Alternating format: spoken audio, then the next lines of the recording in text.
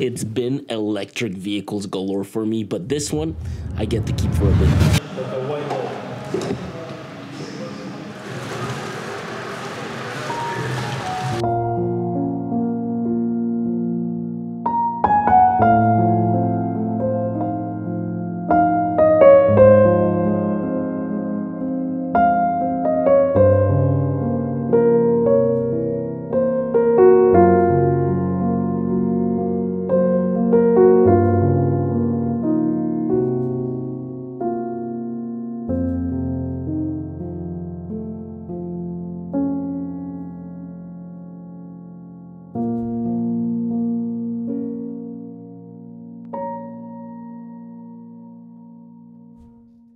Wait, they do? They have a crazy.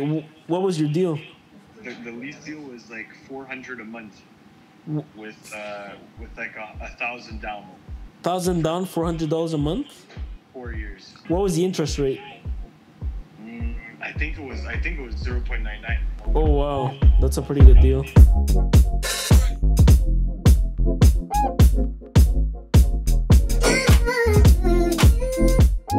A week with a VinFast VF8 and let me be clear about something. VinFast allowed us to test their car, to review it, to give them our own feedback based on my experience with the vehicle for the week. So yeah, I mean, I decided to live with the VF8 for 7 days. I've read so many things about this car online, people talking about how prices have been really attractive, people giving feedback to the brand to make things better. Look, I figured since a lot of people are into the EV market, why not make a video and let you live with the VF8 through my own experience. So here's my VinFast review as the days went by. My first day with the car. I honestly didn't drive much. I went from the dealer to the office, then to my apartment. I decided to take some night shots of it because the blue does look pretty freaking sick. And I also saw another VinFast on the road as I was driving around. Look, Truthfully, Monday night was when I started keeping track of my battery and the kilometers I had on it. Tuesday, we took it for a spin to showcase the outside. Right now, we're just getting ready to shoot some sequences for the car. Um, one thing I've realized is that right now all the doors are pretty much open and the hatch is open. And the car, well, it doesn't turn off, right? Like I can't turn it off. So it just stays like this. But I wonder for how long it'll stay like this. Like the AC is running right now. It's super nice. I'm just wondering because this feels weird. It feels like I'm wasting gas or it feels like I'm polluting because the car is on, but I'm not really. The car is sure it's on, AC is working, and everything's good, but I'm not polluting. I don't know. It's kind of odd. I'm just not used to it. I wanted to basically feel what it's like to live with a crossover SUV. This is 187 inches long, very comparable to the Model Y, a little bit bigger than something like the RAV4. The shape is nothing special, it really is your regular crossover SUV. I do like how they kept their headlights matching that V logo in the front. The same thing goes for the rear light bar which makes that V shape to match once again their logo. I think the nicest angle this car has to offer is the rear three quarters. Every time I park this and look back for an EV, I liked what I saw. It's really nice. I personally like the design of the end of the tail light. It's got 20 inch aluminum wheels. They are designed for better aero by the way. The charging port rests on the front of the driver's side and I do like seeing that it has a powered tailgate. Although keyless entry is not a thing. It's probably my biggest pet peeve living with it, mainly because the way this works is that when you approach the driver's door, you need to push on this little black button to unlock the car. It unlocks all the doors, however, only the driver's side has a black button. Aside from that, exterior wise, I like how the mirrors fold in. The chrome on this car gives it that little elevated look. I've realized that the sensors and cameras are really not too noticeable and the hidden back wiper is actually clever. As for little quirks on the outside, there aren't too many. For the days I've had this, I'd say the door handles could be sturdier and the fitment of the hood could be better. Otherwise, great car from the outside. When you get in the car, by the way, you'll realize there is no push to start. In fact, the brake acts as a push to start. The first time I got in it, it really confused me, but this car is so simple to start and I like that. All you need to do is get in with a key in pocket and put your foot on the brake. That's it easy and efficient. If you want to start driving, seatbelt is literally a must and pressing D will put you on drive. the overall feel in this car, okay, when you get inside of this car, what I do like is that it genuinely feels spacious. I love that. The other thing I love is that things are mechanical. Uh, for an EV vehicle, I love the fact that windows are mechanical, the lever to open the door, that's mechanical, the air vents, those are mechanical. I love that stuff, I really do. Now the seats are a bit too stiff for my liking. Jan, on the other hand, he actually finds them decent. He likes them. They are also mechanical, sort of. Not not entirely, but they have buttons right here. And what I mean about that is that some EV vehicles, they have everything on screen, like including the seats adjustments and, and all that, which is cool. It's nice. But it can be a bit distracting and if things break or the screen freezes and it's not working, you just want to be able to adjust your seat easy, quick with no issues. On top of that, the seats are actually heated and they offer cooling seats all across the car. Like the whole car has that. Back seats, front seats. I absolutely love that. The dashboard is made in vegan leather.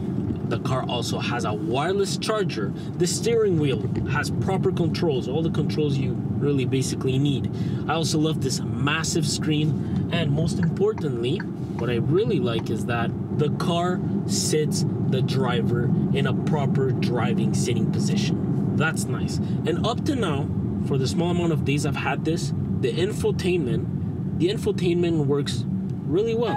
Now, a lot of people complain about this system in the 2023 model and early pre-production 2024 models, but they made so many changes to the release of the 2024 that it seems like those issues have been addressed. However, it's been glitchy from time to time. On this panel, I found input lag to be non-existent though, the UX makes sense, and the UI is quite nice I find. Towards the left, there is a whole vertical menu. This controls a lot of the basics within the car, lights, mirrors, and steering wheel adjustments, heads up display information if you want, and even the sunroof. The sunroof is something only the Plus model offers. But no matter where you are within this menu, you'll realize that inputs are instant and the UX and UI truly just makes sense. What I'm trying to get at is that I don't feel lost while navigating the menu. If you need to charge your car, you can unlock the charging port here, but you then need to head outside and open it physically different from the trunk which you can actually unlatch from the inside. If you swipe the screen from side to side, it'll display a seat belt map and a second swipe some tire pressure and temperature data. The same menu comes with a few other markers like headlights information, turn signals, the gear you're in and whatnot. On the right is where the magic mainly happens for me, mainly because you can either rock Apple CarPlay or Android Auto wirelessly. Thank you for that. But aside from that, this display either displays some menus or acts as a home screen for built-in GPS, weather, and apps. The lower menu practically mostly controls your climate. Shout out to VinFast for putting proper sliders to control climate. I like that. Of course, this has its own dedicated menu that takes over the whole screen, but there are a few toggle buttons aside from climate that allows for quick controls. Things like pet mode to keep your pet safe inside the car, valet mode which limits some functions of the car. There's also display brightness and even things like ambient light brightness if you need to tweak that. Drive mode is another menu that allows you to have fun like active sport mode. This thing uh, this thing hauls, but I'll talk about that later. And then you've got your cameras, delivering a bunch of angles to ensure you park properly, which at night they work well and they display visuals totally fine. The last toggle button unrelated to climate is the apps library, where all your apps and some preloaded apps will be installed. Oh, and I probably should have mentioned this because I don't find it very intuitive, but if you want to go home from any sort of side menu here, you can just click there and it goes on just taking pictures for the car it's funny because Jan was literally like, Can you advance a tiny little bit so we can have the V upright? And so I pressed on D and then the seatbelt just wouldn't let me advance. So I wish, you know, the seatbelt would not be an issue. Like without the seatbelt, you can just move an extra few inches or, or, centimeters. But it's all about safety with this car. It is what it is. Also, that day I realized how hidden the e-brake was. Not a big deal. I just wasn't expecting for it to be there. Eventually, by the way, I did have small issues with Apple CarPlay, which didn't want to connect at all. Tuesday, I basically drove the car for a total of 71 kilometers, mostly gunning it in sport mode. Wednesday, I realized how damn accurate the sensors are. They are a lot more accurate than my RS6 I find. The trigger warning lights make so much more sense and I find you can get closer to objects without an issue. One thing I will say, those sensors are mad accurate. They really are. Anyways, look, Wednesday, I spent the day giving my first driving impressions and diving a bit into the rest of the car. Morning, guys. Today is Wednesday, technically the second day with the car. City driving with this car, I've realized that it is a nice drive.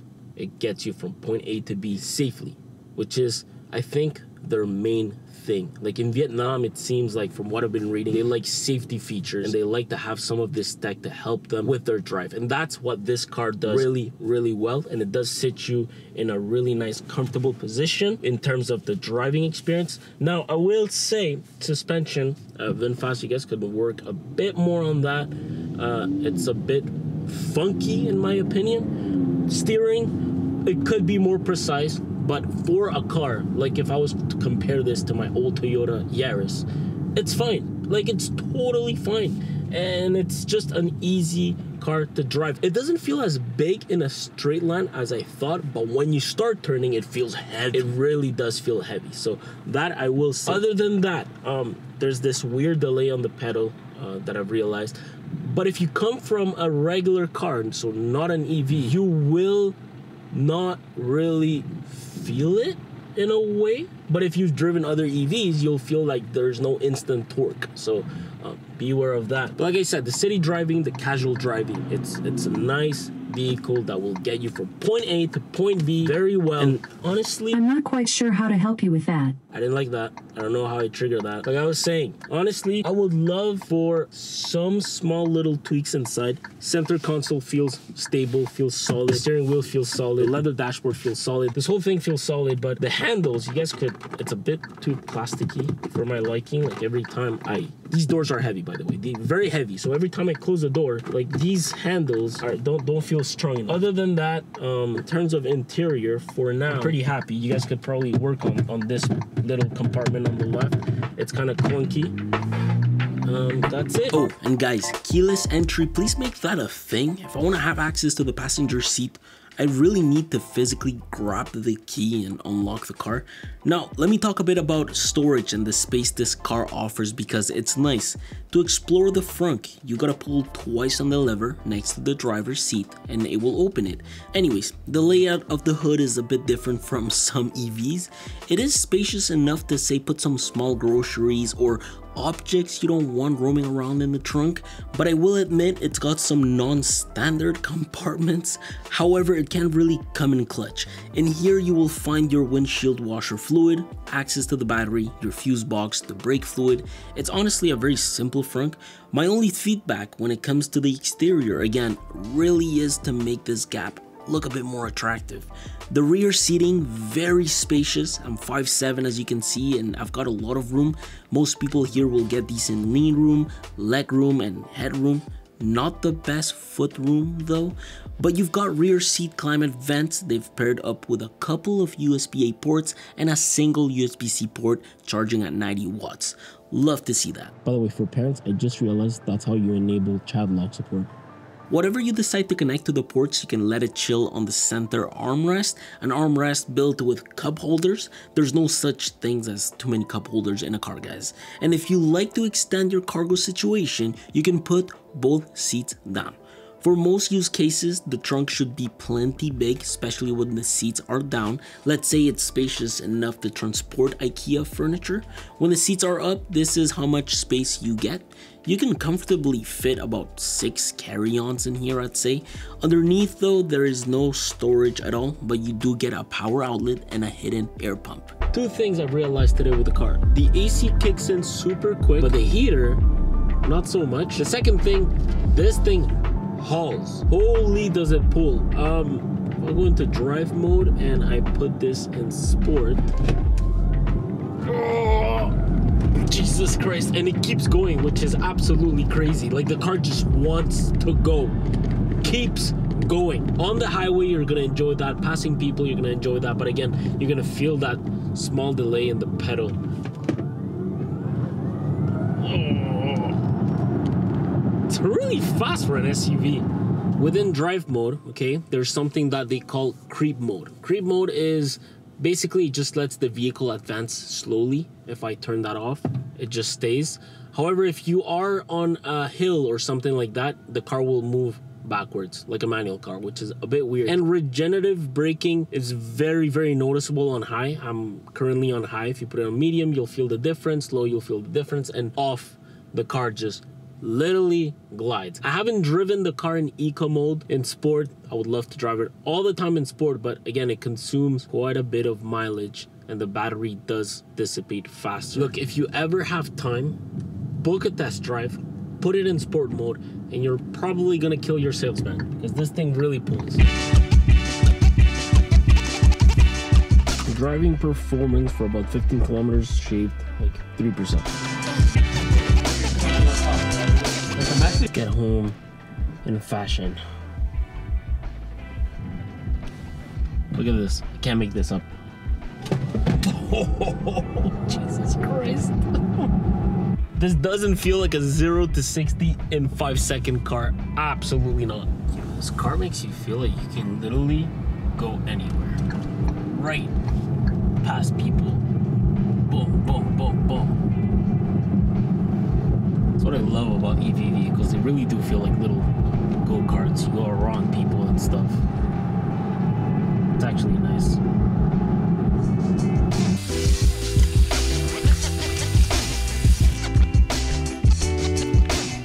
As I've gotten the car, I've only done a mix of normal and sport driving, but I'm sure you guys are interested in the eco mode. So what we're gonna do today is that we're gonna drive in eco mode the whole day. So I'm still at my place this morning. It's uh, 7 a.m.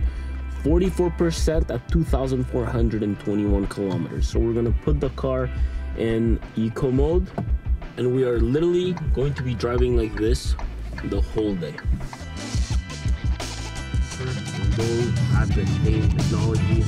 and I don't like the touch because then like let's say you put the full flicker right now full touch up then you gotta cancel it with a single touch.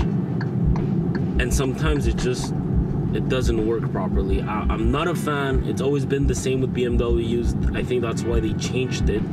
Um, fast, I guess proper flickers would be cool. Click does three. Full does the full flicker, the one usually cancels it. So the eco mode. I drove like this until I dissipated my battery. Everywhere I went, I put this car in eco mode. From that original 2,421 kilometers at 44% on Thursday, I was able to get 110 kilometers more and using about 36% of what I had left Eco mode is really, really good and it's what can get you the furthest and closest to their full autonomy number. Now this here has two electric motors, one in the front and the other one in the rear, which means that all-wheel drive is offered in all versions. The Eco delivering 349 horsepower and the Plus delivering 402 horsepower with estimated ranges between 390 kilometers and 425 kilometers with proper driving. I put about 300 kilometers from Monday when I picked up the car to Monday when I dropped it off, which included a mix of sports mode, normal mode, and eco mode. I really did spend all this time with the VinFast and luckily between some eco driving and sport driving, a single charge lasted from Monday to Sunday with a total of 238 kilometers.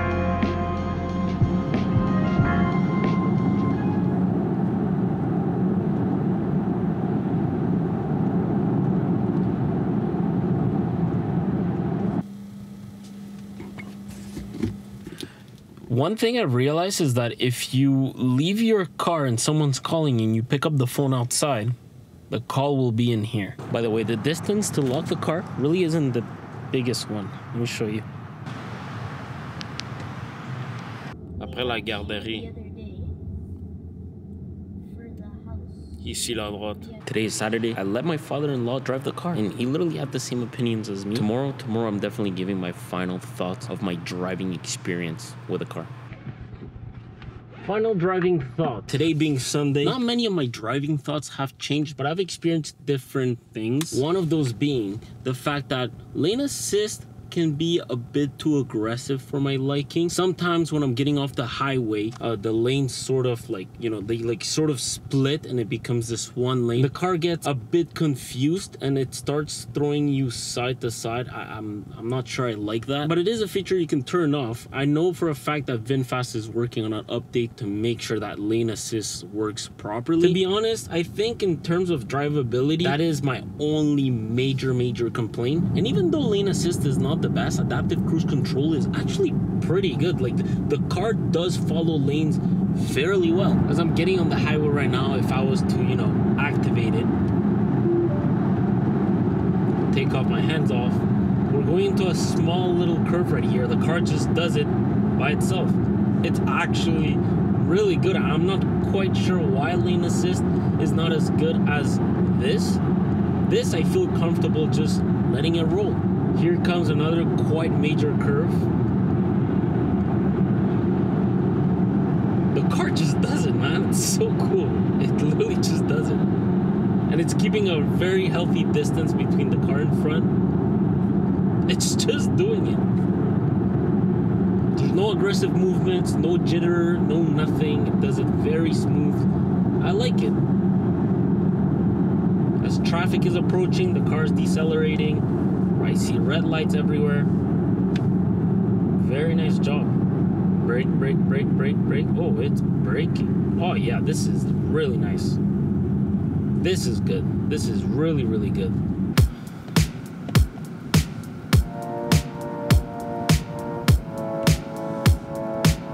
We are at 2,532 kilometers, 7%.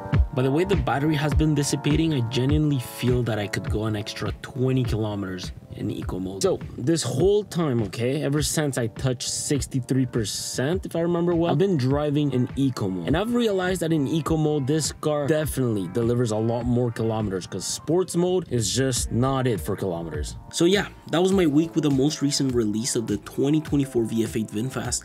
Look, by no means is this a perfect car. It's got its own little quirks, although it does a lot of stuff right like you guys saw. But what I like the most is that the company seems to listen and takes criticism really well. I know the 2024 version has major improvements from their last iteration. On my end, aside from the handle, the interior does feel solid. The car overall feels roomy. Road noise was average, I consider that a plus. The power sunroof is nice and having a physical powered shade is nicer. Aside from the suspension not being the best, I didn't notice any ride quality issues. I also never felt motion sick or felt like the car was throwing me a bit everywhere in my seat. Knowing that this has an unlimited mileage battery warranty for 10 years makes me feel even better. Also, VinFast seems to be addressing a lot of software issues they've had in the past, but one that I think should be awesome to fix right away is Apple CarPlay disconnecting sometimes. There were a couple of nights where the phone would just keep disconnecting randomly.